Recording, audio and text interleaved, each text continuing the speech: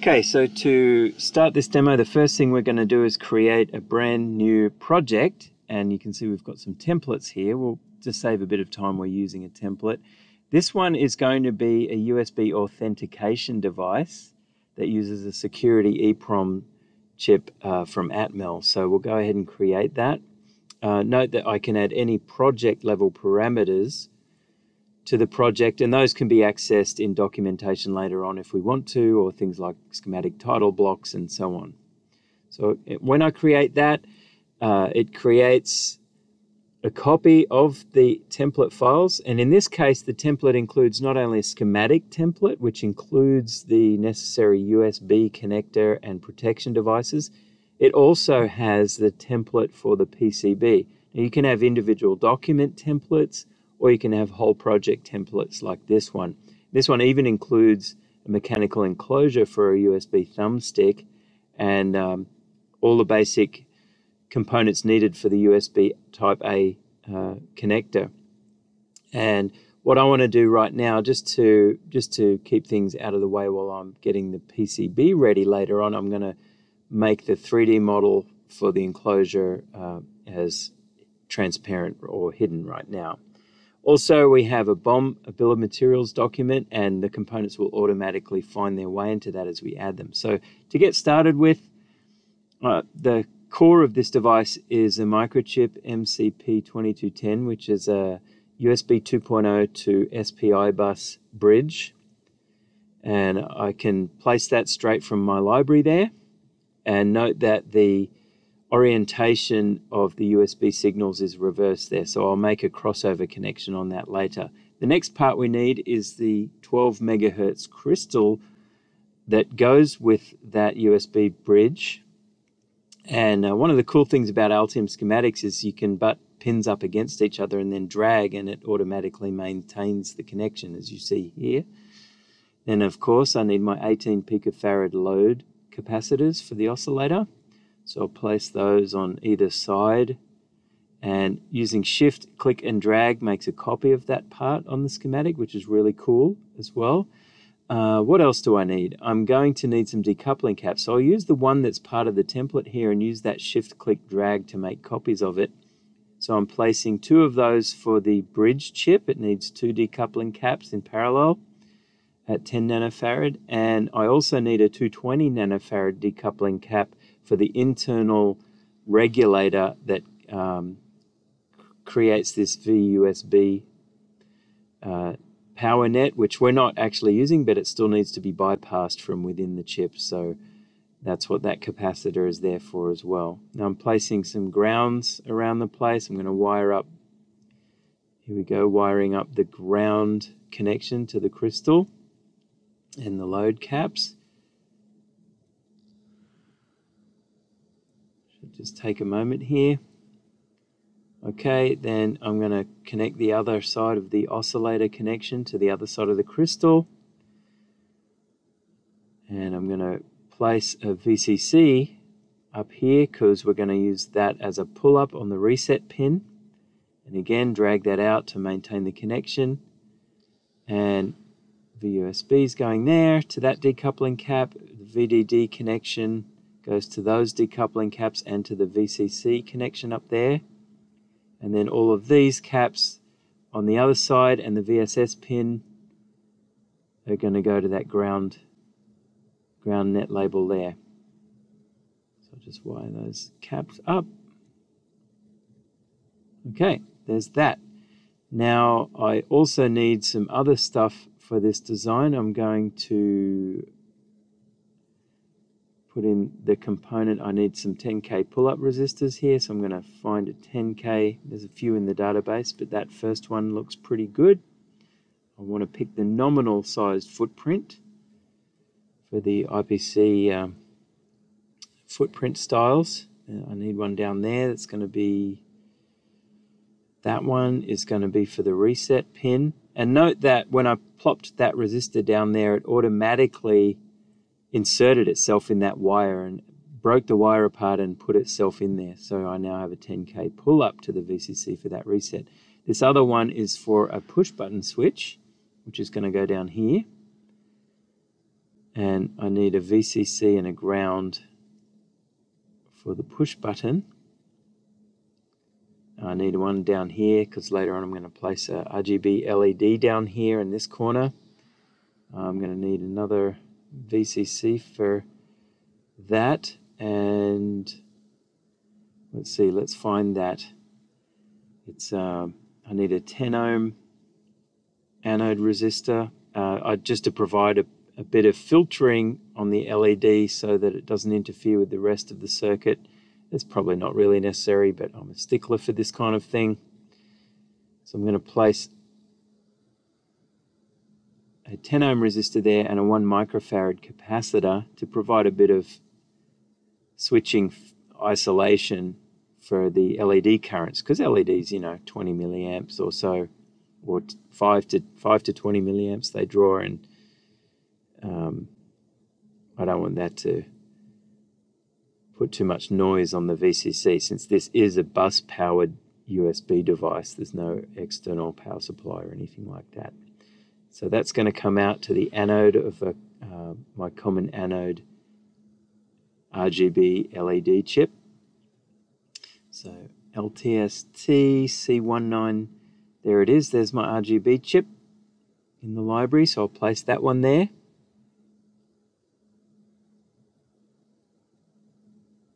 Okay, I'll drag it over a little to make some room for wiring it up to the, the uh, GPIOs of the bridge. Now something you can do, I'll just show you this really quick. You can drag wires around and using simple shortcuts in the Altium schematics, you can do cool things like bring a whole bus of wires around a corner. Um, you can change wiring modes. I'm just cycling through all of that using shift space as I do that. I'll actually just manually wire these up now um, let's start with the USB signals and I'll change to the 45 degree corner mode so I can make a crossover.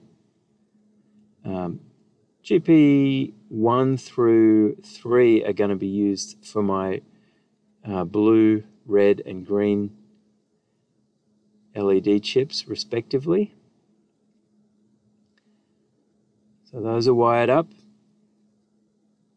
Um, but I need to, I will need to insert some dropping resistors into those. So I'm just going to move those over by selecting. You can see you can group select and drag those wires.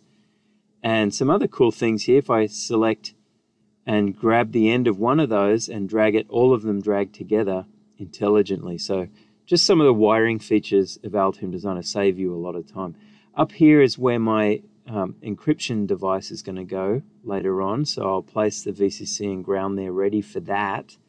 And again, yes, I know I'm shorting out VCC to ground, but what I'm going to do is place capacitor there for the decoupling of that device and it inserts itself.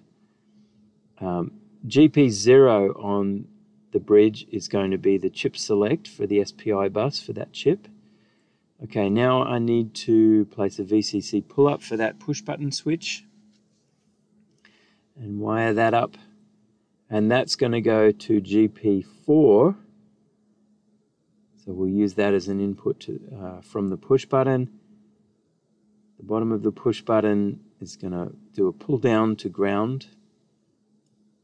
So I'll place a wire that up. I want that to be centered so it looks nice and then I'll wire up the pull-up resistor. So there's my user push button switch. Okay, next thing and the last thing is to place our AES. Oops, I forgot. I need to need to create because we don't have them some 220 ohm dropping resistors for the uh, for the LEDs. So so actually I do a search and there's nothing in the library. So I'm searching manufacturer part search and I narrow down my search to resistor 220 ohm 0402 and there's tons of them available ready for download that I can place directly or acquire them into my own library. I'll pick the one at the top of the list because there's plenty in stock and it's a cheap price and I'll choose the nominal footprint again and I can place it directly. Now I'll set the comment because I prefer to show the value to 220 ohm. note that I can use an ohm symbol there if I want. You can have Unicode characters in any parameter field and I'll insert those into the RGB drive lines and just quickly to neaten that up a little I'll move that over spread them out a little bit just by dragging. And you'll see also when you drag and move things in the schematic that the schematic validation is always running and it shows you if you're going to modify the net list it gives you a little warning sign or a green check mark if if you're not making any electrical changes by the edit you're doing so that's really helpful. So I'll just drag those around tidy it up a bit. Okay so now the final thing we need to do is find and place our encryption device which is an AT-AES 132A and there's none in my library. So I go to manufacturer part search and we can find plenty of information about the supply chain but also in the Altium cloud services, there's no symbol or footprint available. So what we're going to do is go back to the components panel and we're going to create a component here. And I'm going to place it in the memory folder of my library because it's an EEPROM. It's an encrypted encryption EEPROM.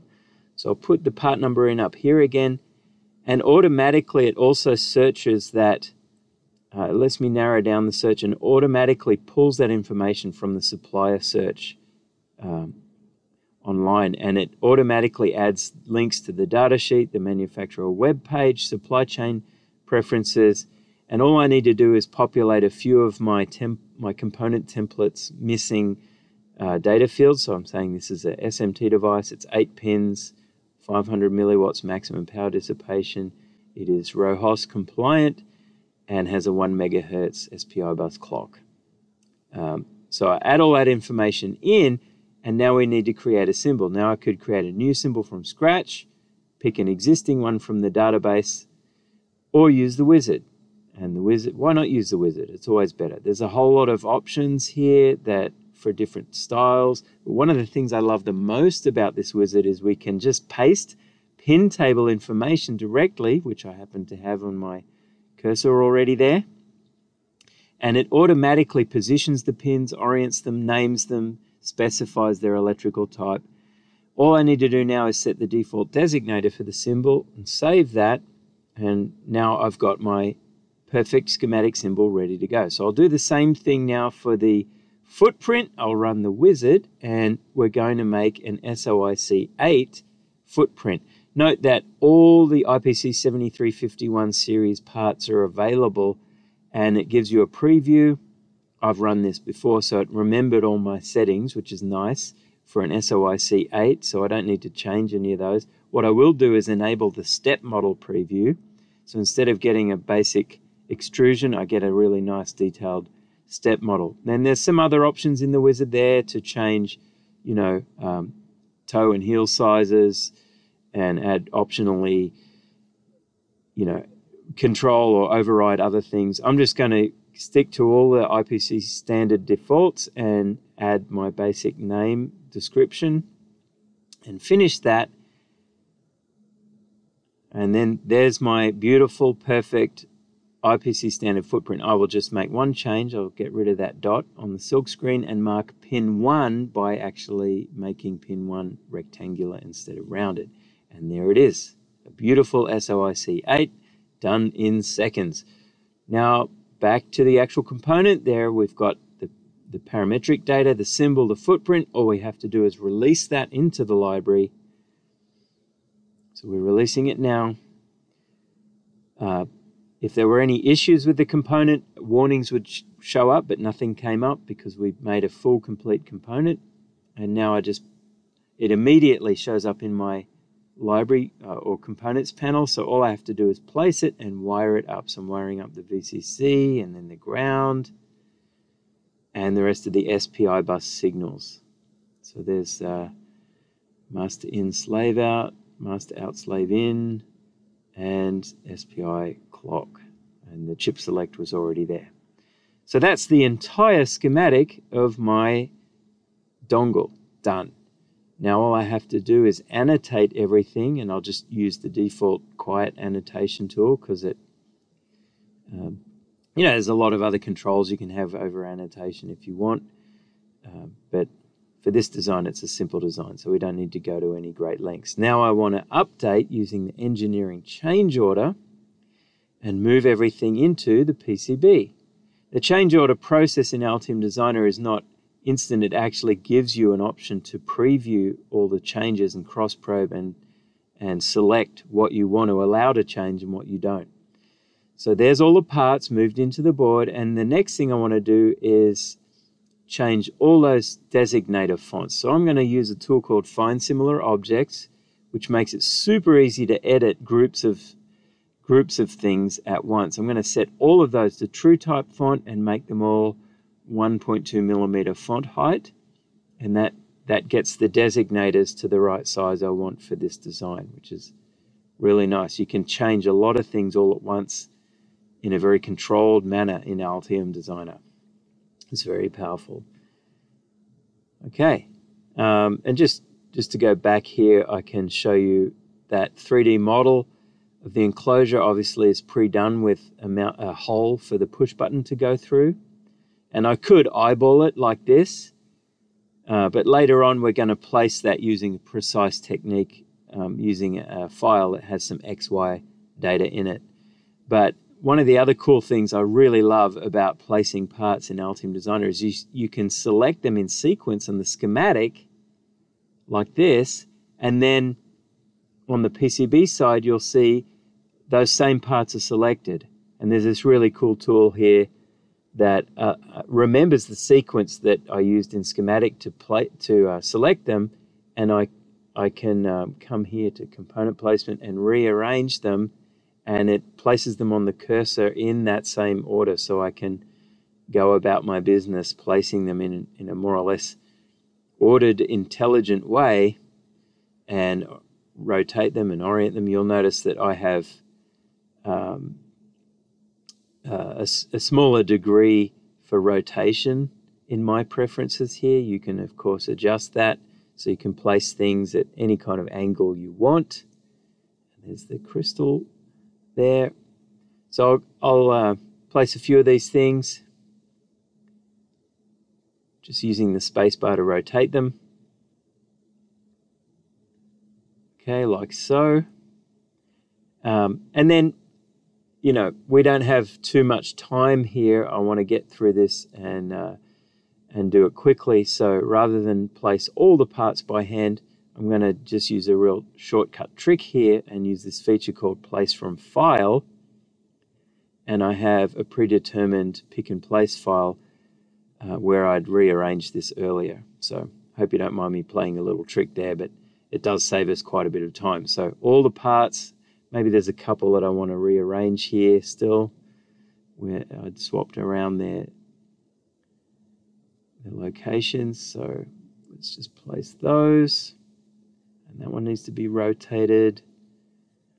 Um, and I'll just adjust a couple of things. A few minor tweaks here. These parts here, I need to rotate those as well.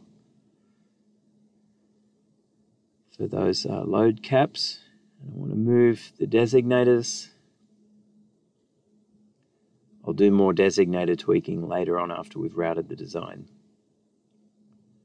Okay, so that's that's pretty much it there. I'll save that. Okay, now what I need to do is obviously uh, start routing the board. And I've already got design rules from the template and so you see we've previously set up our clearance rules.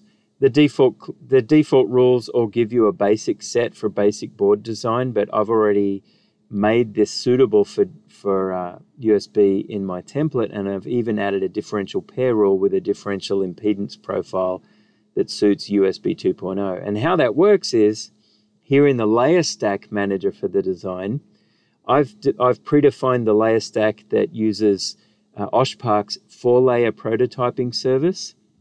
And I've added in all the details according to their specifications as a manufacturer. And I even have defined a 90, to 90 differential pair 90 ohm and single-ended 50 ohm, which I can reference in design rules. So let's go ahead and start by routing the USB differential pair. And there's all sorts of different options here, but you can see it's going to uh, hug around other things, and I can I can do it that way. Um, let's say I wanted to make that more curvy. I can select that and hit Tab to select the whole connection, and I can use this glossing feature. And the glossing is uh, making the, that really beautiful routing there. Of course, I could do that interactively while I'm doing that. Now, if I want to change the width, say of the power supply, I can do that by hitting Tab and adjusting that as I'm going in the properties panel to the right there. So I'm going to fan out some grounds here because I'm going to put the ground layer, uh, the next layer down, I'm going to have a, a, ground polygon. That's how I'm planning my design. So I'm going to fan out some of those ground nets. Um, just using a quick shortcut to place my rule defined via. And of course, this net here, which is the the shell of the USB connector and some um, a resistor and capacitor to short out any static discharge that might happen when the user holds the device. And now grounds for the other side of that and the power supply ground from the USB connector, those are all going to connect into that TVS chip that protects from voltage surges from the connection. Oh, and that, that capacitor needs to be rotated. I forgot to do that before. And so we'll connect up some of these grounds. Again, just um, wiring up the decoupling caps and some of the ground pins. So to fan out ICs, I like to use this really neat trick, which is to use the multiple route tool. I could carry on routing those signals on the next layer down, of course. Um, and control double click on, an, on a net wire auto routes that trace and does a beautiful job, I might add. Really elegant. Super quick and easy, just control, double click, done. And some of these need fanning out. Actually, I think I want to swap around. Hmm, let's see. I think I want to swap a couple of resistors over here too to different positions to make the routing a bit easier here. Um, so rather than, I can fan out that to ground. Uh, but this one I think needs to connect down here somewhere. So I'm going to swap that R5 and the R4 over. Let's let's see. I might unroute that. I'll just select a wire segment and control delete deletes the next segment along to it. So there's some other cool shortcuts and things that you can learn. And notice that when I drag this resistor R4, it takes its fan out trace and via with it. So even if you've fanned out an entire BGA, if you need to just move it a bit, it takes uh, particularly, it's particularly good for small components like decoupling caps and resistors like this one. Let me just gloss that. It can take those things with them to save you a lot of time. Let me fan these, these ones out using Route Multi. Just click there and hit 2 to place down some vias. And up here now, uh, I just want to keep adding some uh, V-bus and ground vias around the place. I'll just fan out these signals on this one. Hit hit the two key, dumps down some vias, and I'll escape to stop that. So those are done. Note that my vias are further apart just because of the Osh Park design rules for via hole-to-hole spacing. There's a few more here. I need to place um,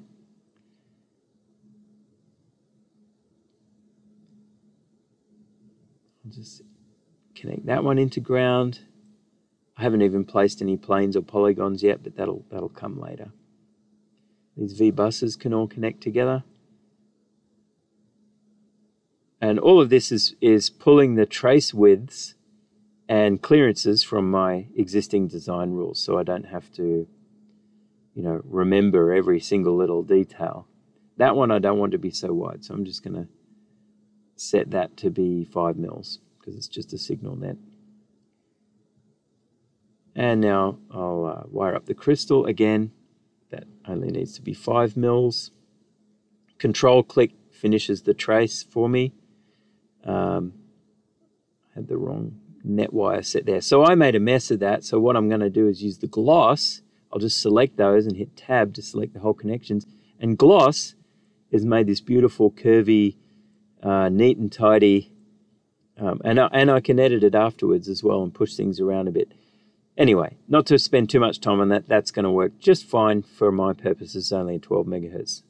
Anyway, uh, next, what do I need? I need a ground up here for my EEPROM. So I'll plop a ground via down there. Control click to wire up ground on the switch. Uh, and moving the mouse around while you're routing influences how you know the algorithm will walk around and do other things. And again, uh, if you don't want extra, or I didn't mean to move that switch. Oops, let's undo that. By the way, there's a huge redo and undo stack in Altium Designer. You can you can keep undoing and redoing to your heart's content pretty much. So you see when I when I uh, glossed that, it also glossed that other trace on top and made the whole thing like a nice, beautiful little arc there. Now I'm going to place my ground polygon on the next layer down. And I'm not even going to try to replicate the board shape. I don't have to work so hard to do that. I'm just going to pour all over the whole thing to ground. And there's already some ground vias in there. So once I set the net for the polygon, here's the polygon properties here from my other screen. So I set that, I'm going to say pour over all same net objects and remove dead copper. And I click OK and I, uh, let's do that again. Let's right click on that and have it repoured.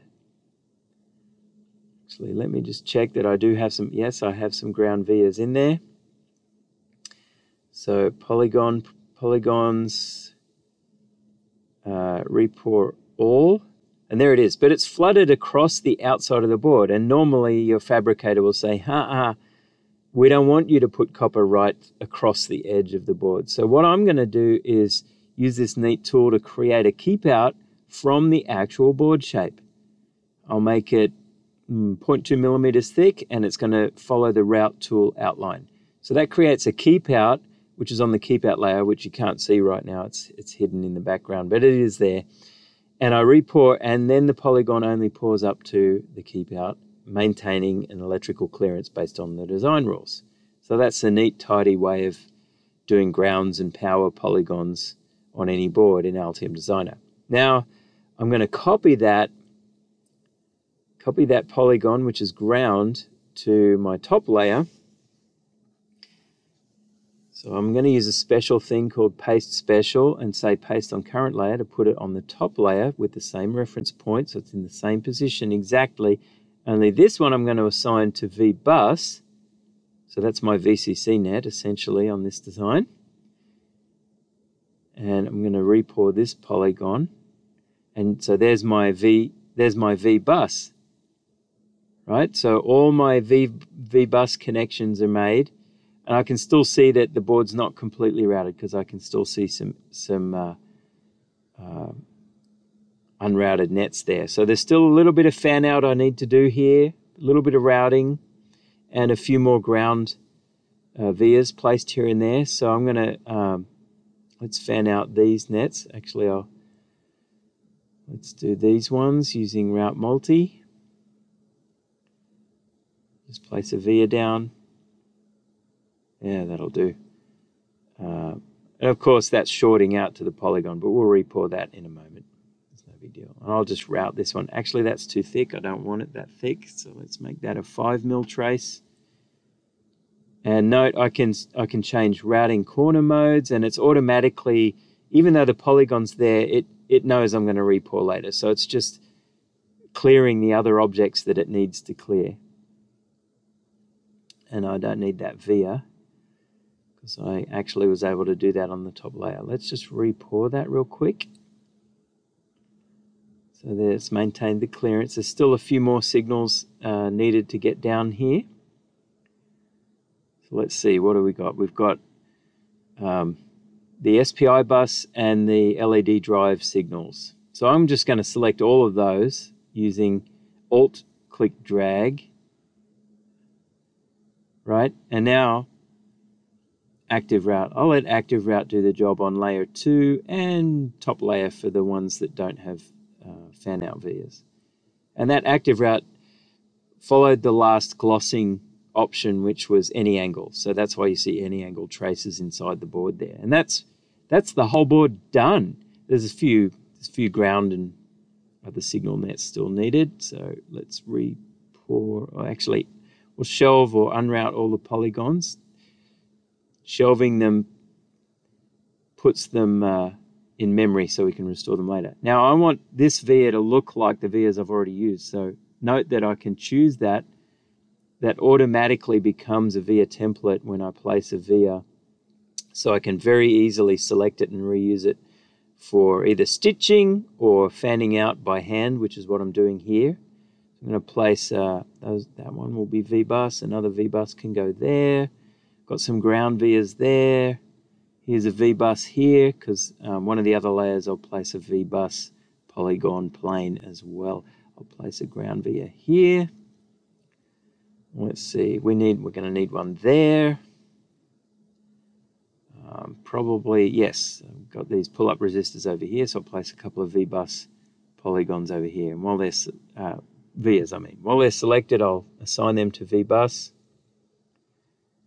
Right? Oh, and I don't, I don't want that trace tag there. I'll just wire those up straight up and delete that one. Okay, now, let's see. What else do we need? This. Let's see. That. I want to add a proper trace in there. Oh, and that, that V is not assigned yet to ground. So let's do that real quick. Okay, now this one needs to be attached. That's the uh, decoupling for, for VUSB inside the chip. What else? Those two vias need to be assigned to the bus voltage. So let's select them. Assign them to VBus. Okay, and the polygons will connect into those, so we'll let that let that happen. Let's see what we've got right now. So the polygon floods over the vias that are assigned to it. Uh, haven't quite finished all the routing yet, but we'll come back to some of that in a moment. So we repour the polygon. Let's wire up that ground. I have to repour again so it doesn't short out. Okay. All right. So there's a power and ground polygons taken care of on the first two layers. I could have, I've done this whole board in just two layers. Really, I could do it in two layers, even though I'm using a four layer template. So I'm just going to copy the ground to the inner layer two, and the bottom layer can just be another VBus or VCC.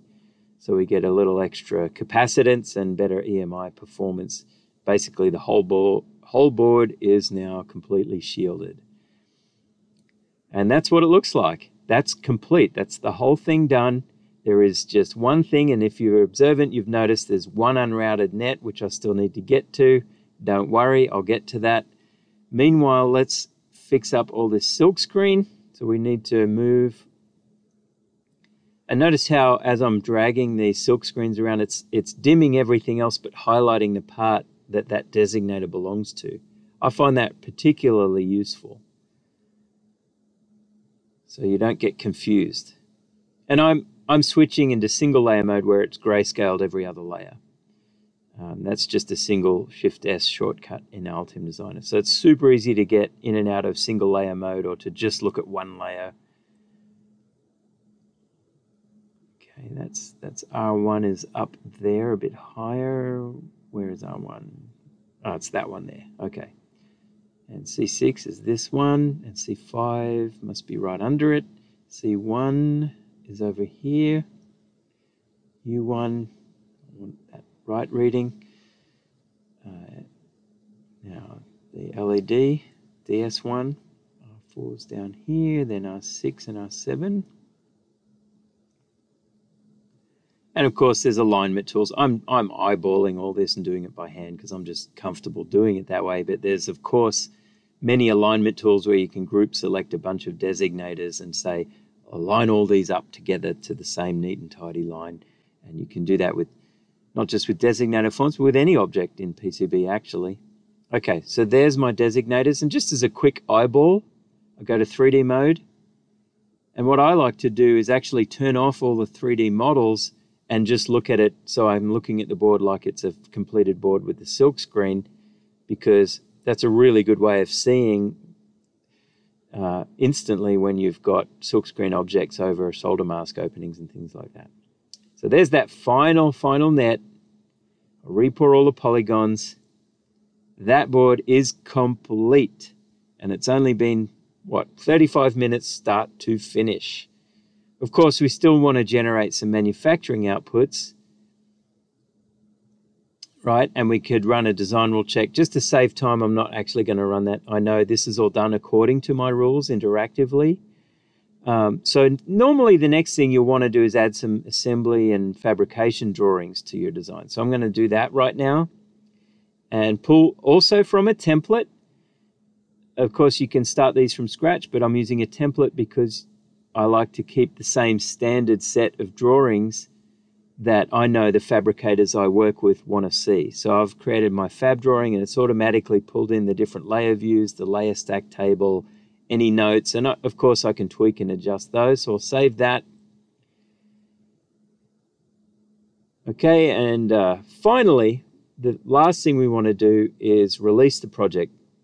So what, what releasing does, and whether you're using a data management system or not, you can do this, it generates all the manufacturing and assembly outputs in a batch process. So this can save you a lot of time as well. And this whole thing can be uh, tweaked and templated if you like.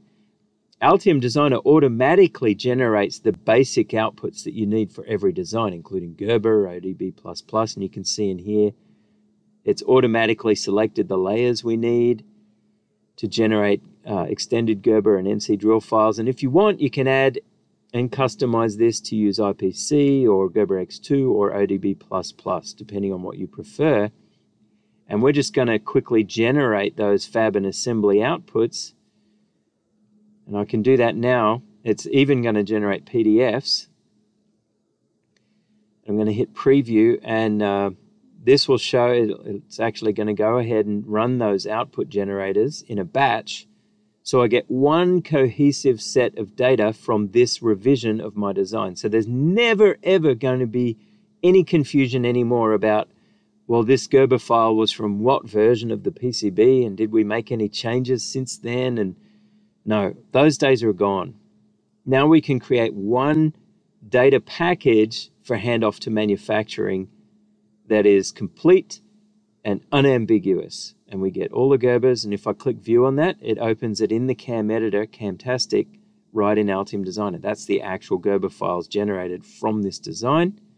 I can even open a panel here in the CAM editor, which is a fully fledged CAM editor. You can do anything you need here. You can do DFM checks. Uh, and, and I'm actually uh, going through, you can single out the layers and look at the actual image data from the Gerbers. Um, you could consolidate this with drill data. You can even, I won't go through it, but you can even reverse engineer boards from Gerbers and drill files to actual PCB documents if you want. And there's the PDF of my basic assembly layer drawing or fab drawing. And that's it.